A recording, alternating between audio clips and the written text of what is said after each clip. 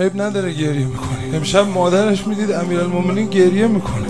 آقا جان بچه مگه ایراد بازوهاشو میبوسی گریه می‌کنه. چششو میبوسی گریه می‌کنه. الله اکبر الله اکبر. یه وقتی دیدم تو همین ایام دیدن جانم فداشون بلبنین بچه رو گرفته سر سفره نشسته بودن. دور این سفره حسنین و از زینب و از ام کلثوم سلام الله علیهم نشستن.